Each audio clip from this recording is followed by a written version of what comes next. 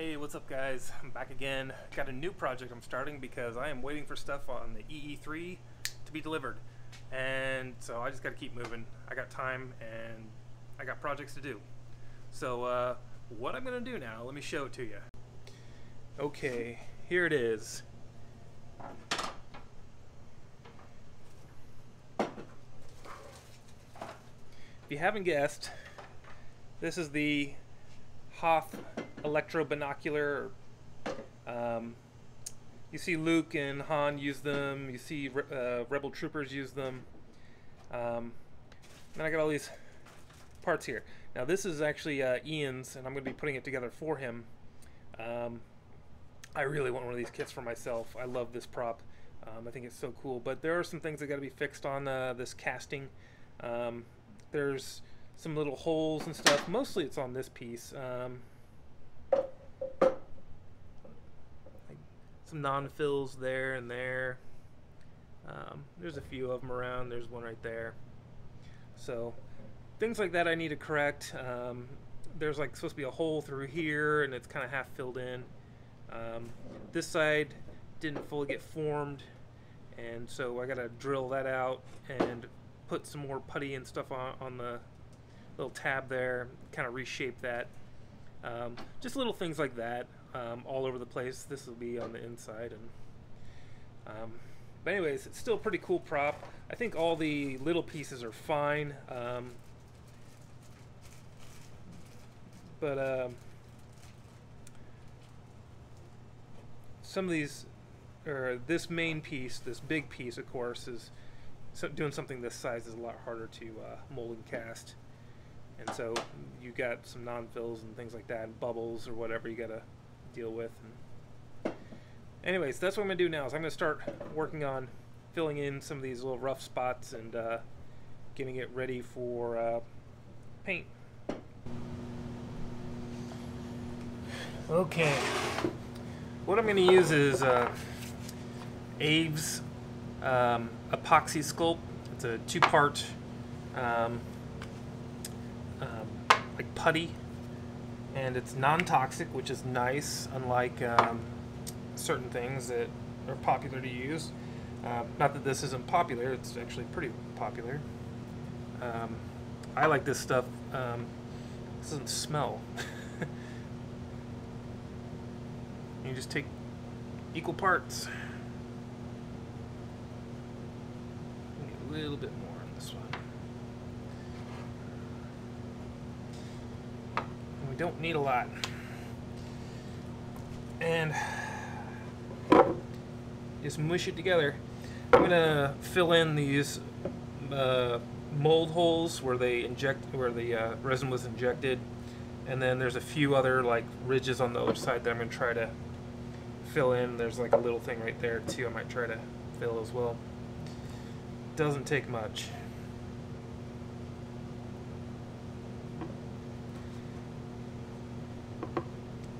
Figure I can start this and let it cure.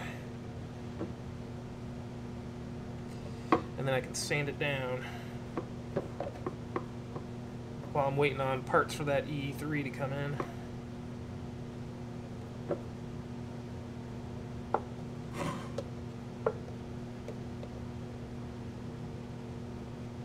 there's a non-fill right there. Not a very big one. I don't know if I'm able to get this stuff in there. Take a teeny tiny little spot of it here.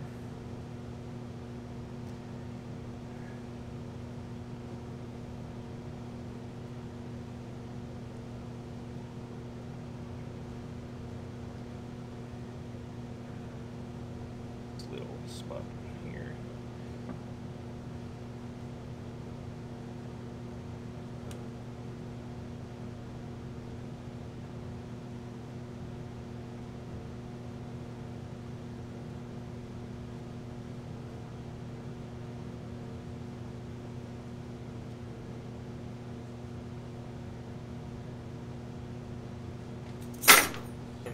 This stuff around.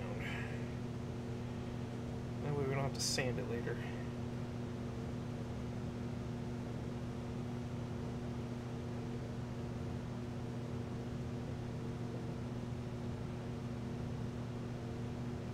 I feel like I could just pop this out, like, yep. This one, that's a bit thicker. it still needs more. I think that's gonna be enough. But we're gonna stick it on anyway, because I've got some right there, ready to go.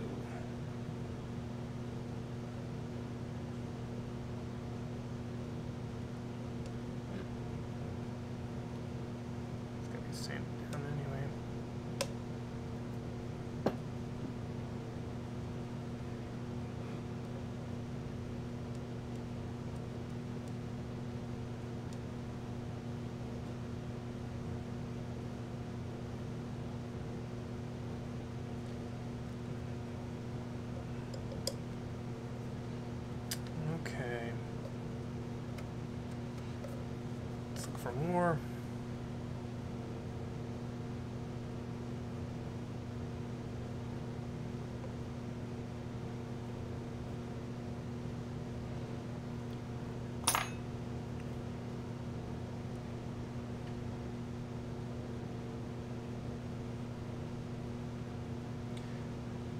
All right. We gotta let that dry. That's gotta cure up to be good to go tomorrow. Alright, so I'm going to let that um, set up and dry uh, for one full Earth rotation. And um, it's just sitting right back there. And uh, I'm going to come back to it and shape those areas with a file and sandpaper and um, hopefully they'll turn out good. Hopefully that Aves Apoxie Sculpt will stick to that resin. Um, I've never had a problem with it sticking to things in the past, but uh, you never know. I've never tried to stick it on something that's resin like that.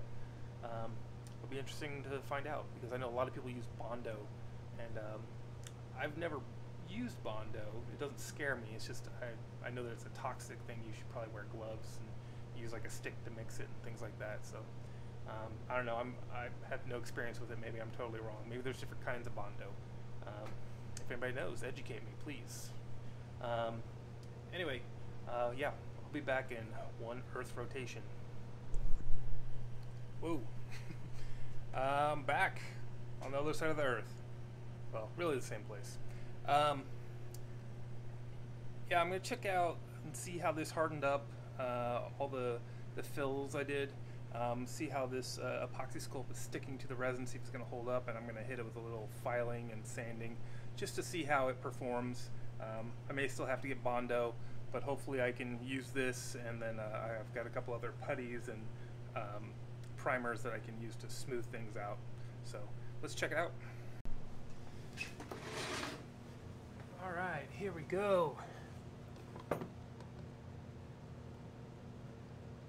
that still seems a little soft actually. It's been 24 hours, That should have cured up. See now that one's hard. Huh. Maybe it didn't get mixed as well. Oh, I was constantly kneading it. See, that one's soft too. That one's a little bit harder. Huh.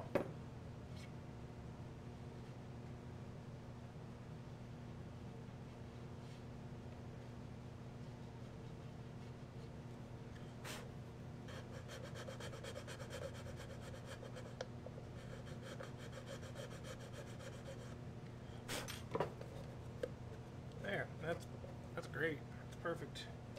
Uh, I guess I'll let that cure up even longer. That and these two. Um, this, that is mostly hard.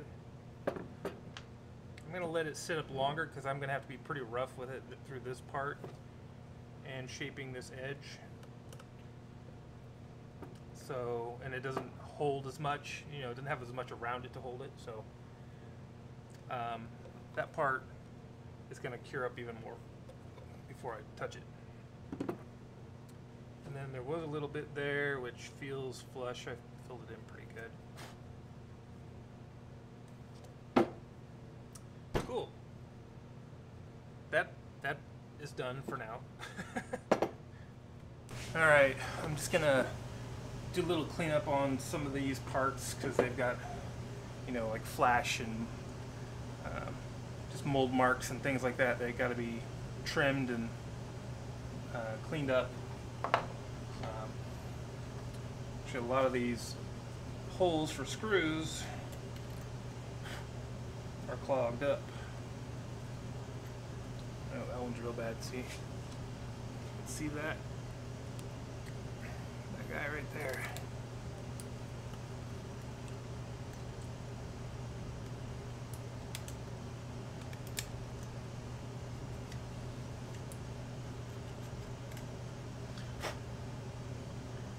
Side doesn't even have holes. It's supposed to.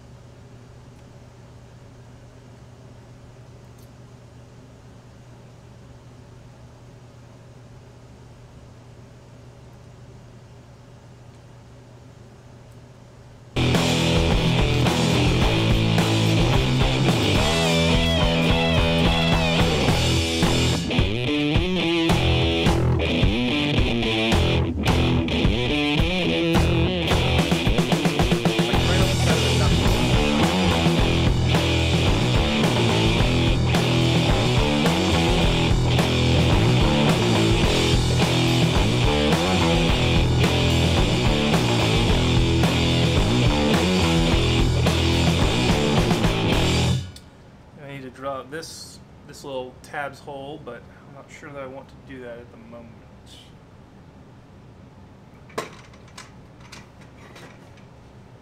Alright.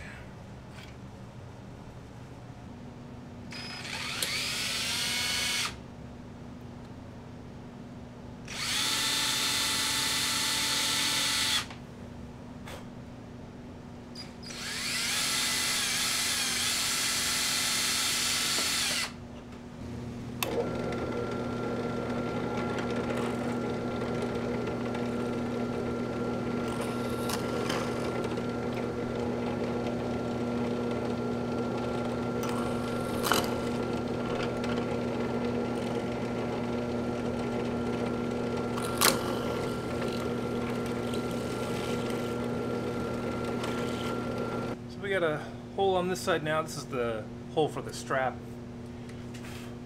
so they can wear it. We're just going to file open, smooth it out the rest of the way.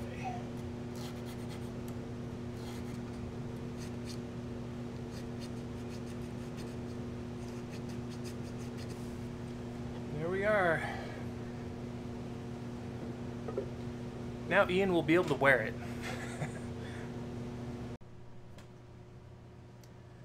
Alright, so these still feel a little tacky. Um, uh, just a little bit soft still, but I think I can work with them now. Um, whereas the other one that I'd, uh, other ones I should say, there's a few spots I sanded and smoothed a couple nights ago, um, are, are, still rock hard where I don't know why these are not.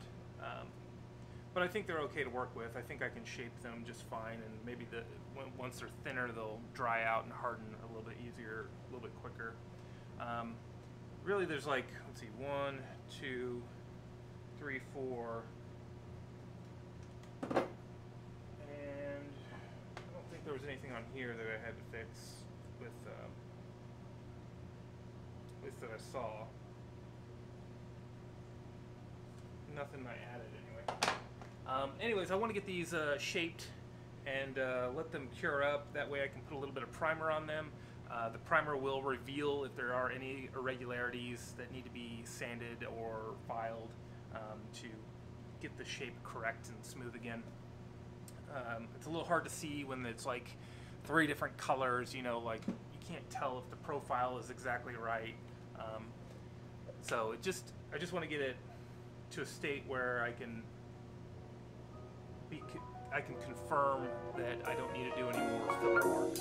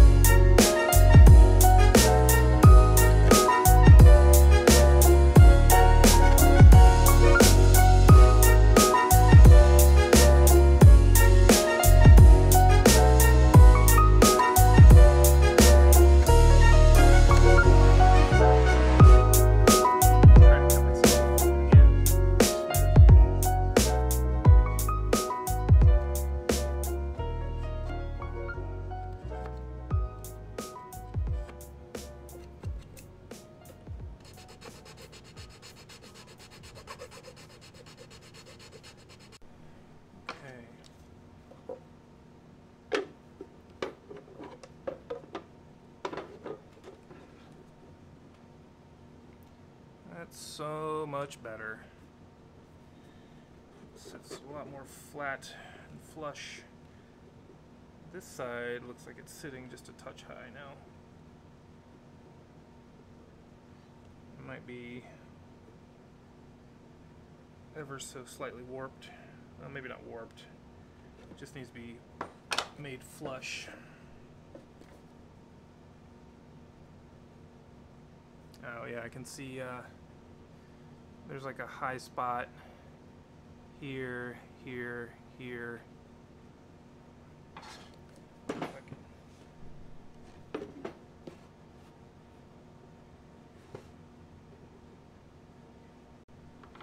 And also, this is maybe a little warp in it, possibly, or maybe it just needs to be flattened. I wish I had a bigger belt sander. Yeah, this has got a, there's like a hump here. I don't know if that's going to pick up very well. But there's a slight raised area like right around here. And probably this is a little raised, I can see. So, looks like I need to try to flatten this out.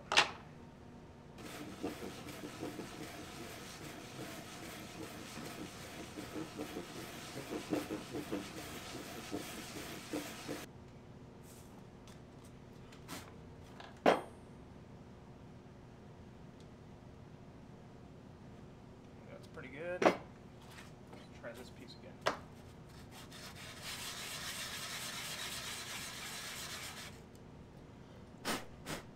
So you can see the uh, high spots because they're getting more friction than the low spots.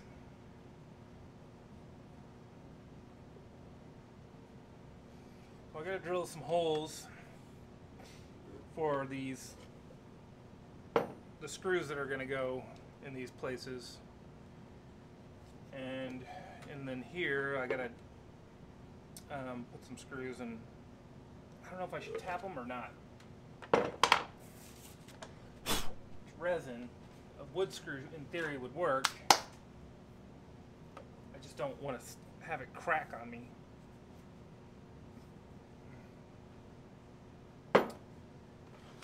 Oh, I did see this. There's a there's a little gap right in there. Let's see, I can pop this out.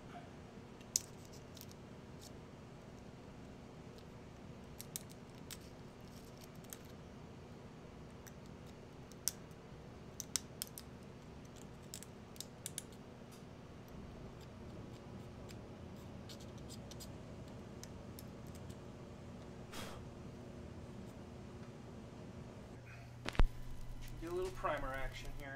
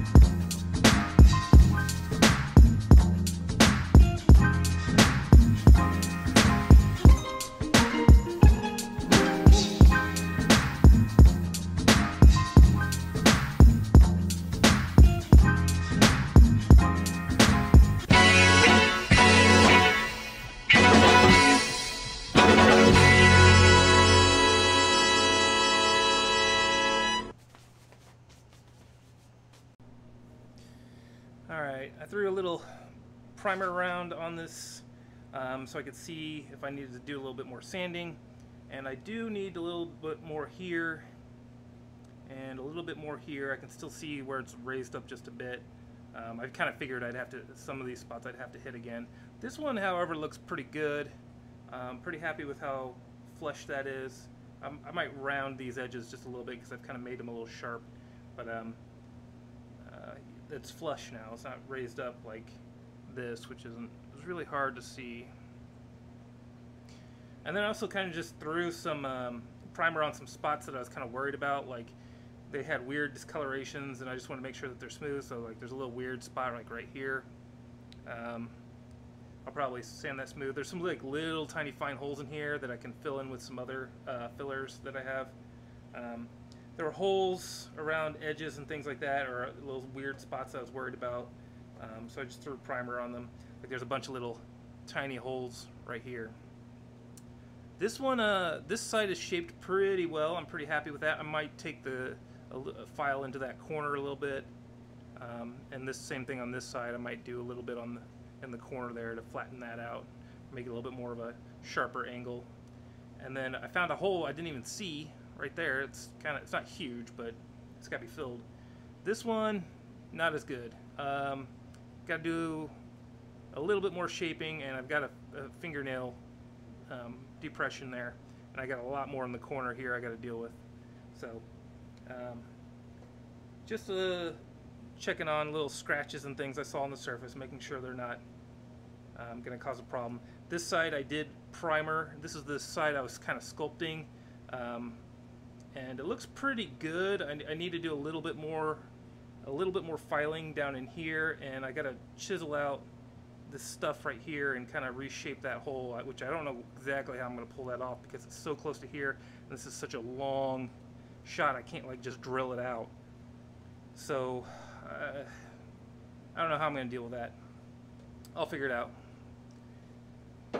And then this has got a bunch of little little tiny spots on it um, nothing terrible though really there's a few holes like right up here they need some little tiny filler on them there's a weird spot right here that looks like a I didn't fill but somebody filled some holes here. There's a non-fill right there in the corner, which is going to be hard, and then there's one way back there. Not quite sure how I'm going to get at that one. Um, yeah, pretty good other than that. Alright, so that's it for this video. Uh, no, it's not a huge start. Um, I'm kind of doing this in between the EE3 um, while I'm wrapping that up. I'm still waiting on a couple parts for that, so that's why I've got time for this one. Um, and I know it's probably not like a huge project, but uh, it's still going to be interesting. I don't see too many of these, so um, I'm really excited to see how this turns out. Um, I really want to get one of these kits for myself. I think it's a really cool prop. You see a lot of uh, main characters have it. Luke and Han both carry it, um, and then you see a lot of background characters with them. And I do know that there was more than one. Um, I don't know exactly how many there are, but I did find a shot in the movie that showed uh, two background characters both with them. Um, so that's kind of cool. There's uh, several out there. Another thing is it's in the Mandalorian episode five. You see that new bounty hunter. He's got one, and you know, I'm not going to spoil what happens, but just know you see it in that episode. Um, it's a little bit different though, just a little bit different. Um, but it is the same electro binocular, I believe is what it's called. Um, so anyways, that's going to be it. And uh, check out the blog. I'll have a post on this, propchopshop.com. Um, I'm sure I'll call it like Hoth Binocular or Hoth Electro Binocular, something along those lines. Um, anyways, uh, I'll see you later. Thank you.